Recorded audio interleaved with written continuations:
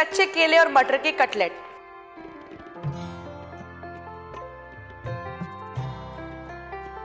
Hi, welcome to Sanjeev Kapoor Khazana. I am Zai and today we are going to make a very interesting starter which is called as kache kele or matar ke cutlet. Let's go through the ingredients.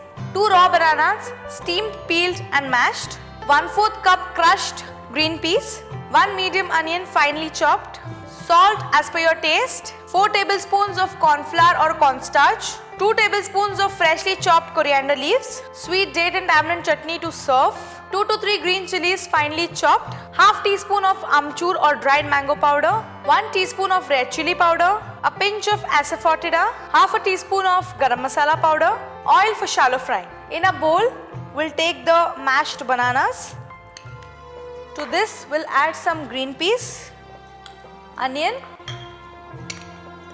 salt, some green chilies, amchur powder, some red chili powder, asafoetida, garam masala powder, coriander leaves.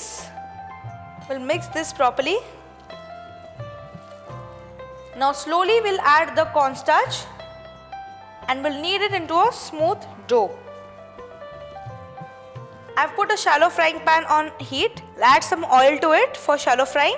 We'll apply some oil on the palms also so that the cutlet mixture does not stick to your hands. We'll divide the mixture into small portions and shape them into cutlets.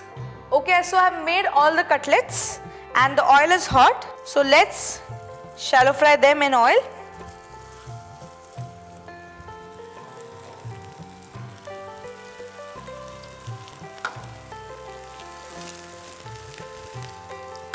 Okay, the underside of the cutlet is done. So let's flip them one by one and we will cook the other side as well. The cutlets are ready. Let's remove them onto an absorbent paper so that all the excess oil is absorbed. Kachche kele or matar ke cutlets are ready. Serve them hot with date and tamarind chutney.